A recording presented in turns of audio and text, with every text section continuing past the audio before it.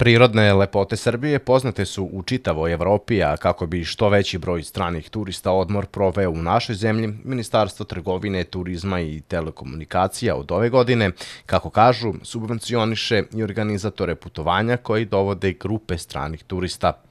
Grupno znači e, najmanje 15 turista u grupi. Oni moraju biti smešteni u kategorisanim objektima i da imaju bar e, noćenje sa doručkom i još jednu dodatnu uslugu. Da li će to biti usluga turističkog vodiča ili animatora ili e, transfer, to je potpuno nebitno. Bitno je da imaju još jednu uslugu i naravno da borave najmanje tri noći ovde u našoj zemlji. Subvencije su od 10 do 15 evra po stranom turisti, tako da se nadamo da će i ta akcija da doprinese da ne samo domaći turisti posećuju naše destinacije, nego da budemo vidljiviji i konkurentniji na inostranom tržištu. Kada je reč o Novom Sadu, sa turističke tačke gledišta, on zaista ima mnogo toga da ponudi, kako domaćim, tako i stranim turistima, koje sigurno neće ostaviti ravnodušni.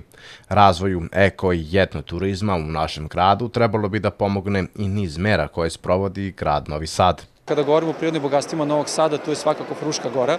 E, deo e, Fruške gore e, se nalazi na teritoriji grada Novog Sada.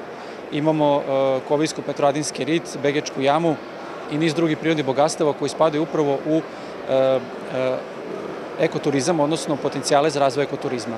Mi smo definisali nekoliko mera, pre svega se tu odnosi na e, saradnju grada Novog Sada, pre svega turističke organizacije Novog Sada, povodine gradskih institucija i drugih institucija koje rade na promociji ekoturizma.